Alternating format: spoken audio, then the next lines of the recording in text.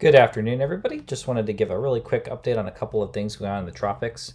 Figured I'd do video form since it's a little bit quicker than writing it all out. So let me know if you like this format or if it's easier if it's written. Um, either works well. So uh, we got two things going on in the Atlantic. Nothing super um, significant to worry about, but just a couple things to note. We've got tropical depression Fred now near Cuba, which is weakened, and then another system. Um, it's a potential tropical cyclone seven. Um, it's a wave that probably will become a tropical storm soon. Um, both these kind of moving off to the west. So if we look at Fred, um, this is a satellite image. There's a lot of convection down here over Cuba, but not much, and that looks like a, a tropical storm. It, it, moved over Hispaniola here. It's moving over Cuba now, and all this uh, land and mountains um, and these sub, these islands has really torn it up and there's not a whole lot left of it. Um, it, it. I'll show you. It's forecast to move into the Gulf of Mexico. It's a depression right now. When it gets back into the Gulf, it'll probably strengthen back to a tropical storm at some point.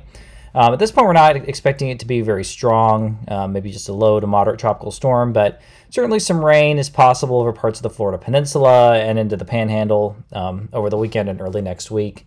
Um, so worth keeping an eye on, um, but at this point, we're not expecting anything crazy in terms of strengthening because as you saw, it's really gotten torn up by uh, by moving over land. This is the other system we're looking at. Uh, this wave, um, it's a potential tropical cyclone, so the Hurricane Center is issuing warnings on it, uh, but it hasn't officially been named a storm yet. Um, it's moving off to the west northwest, out here over the Atlantic, um, toward the uh, Lesser Antilles here. So it's still a little ways out. Um, if you look at the forecast for this one, um, it's kind of a, a deja vu with Fred, sort of forecast to move generally toward the west, and then either into the Northwest Caribbean or, or near the islands here, or maybe a little bit north of the islands. And whether it goes right over these islands or north of it will really determine what happens because, you know, if it goes directly over these islands, uh, even if it's already a tropical storm, it's, it's probably just going to fall apart very similarly to what Fred is doing. But if it gets to north of these islands, um, the conditions are somewhat favorable. You know, there's some indication it could strengthen some more in the Bahamas. Um, so, like if you look at this uh, Oops, I have a plot here uh, from uh, Weather Nerds, which is a, a, nice website for looking at hurricane data. Uh, you can see that some of some of these um, forecasts um, are the ones that kind of bring it north of the islands here, make it a little bit stronger as it gets in the Bahamas. Um, so there's not a lot of the models doing this. Um, you know, right now, I think the most likely outcome is probably this that it, it falls apart and doesn't really do much. You know, maybe just dies over land. But there's a chance it could get far enough north and, and get over the warm water in the Bahamas and strengthen some.